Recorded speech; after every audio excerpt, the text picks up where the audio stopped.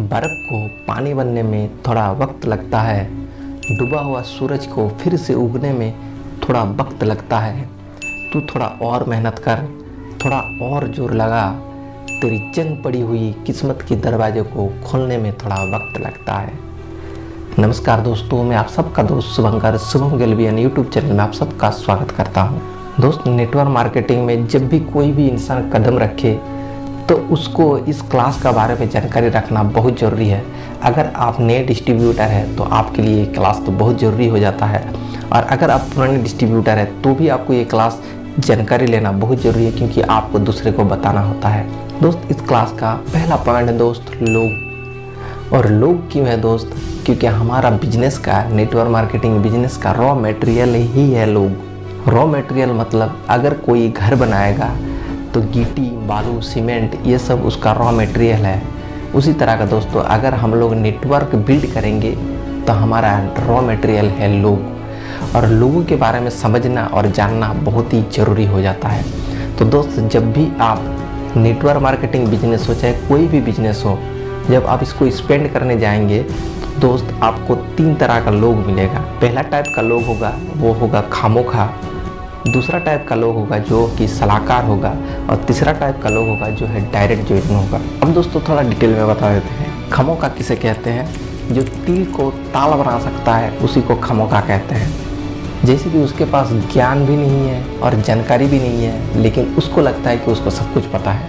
जैसे कि आपको कुछ लोग ऐसे भी मिलेंगे जो कभी दिल्ली नहीं गया है, लेकिन दिल्ली के बारे में सब कुछ पता है।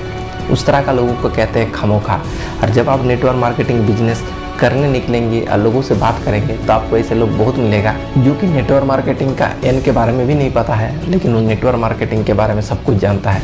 तो दोस्त, ऐसे लोगों से बच के रहिए और ऐसे लोगों से दूर रहिए।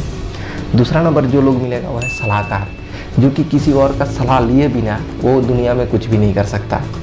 कुछ ऐसे लोग भी रहेगा जो कि डिपेंडेबल है, दूसरे से कोई है जो कि अपनी बीवी से डिपेंड है, कोई है जो अपने पिता माता से डिपेंड है, कोई अपने बाबा से, कोई अपने भाई से, कोई अपने जीजा से।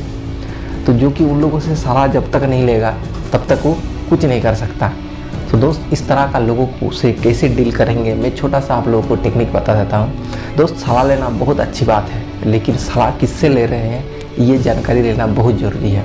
दोस्त, अगर आपको किसी जगह पे कोई चोट लग गया हो या फिर आपका कोई बीमारी हो गया हो तो आप क्या कभी कोई किसान से जाके पूछेंगे या फिर रिक्शा वाले से जाके पूछेंगे? नहीं ना। आप किससे जाके पूछेंगे?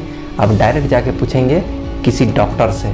तो दोस्त, सलाह उसी से लिया जाता है जिसको उसके बारे में जानकारी हो।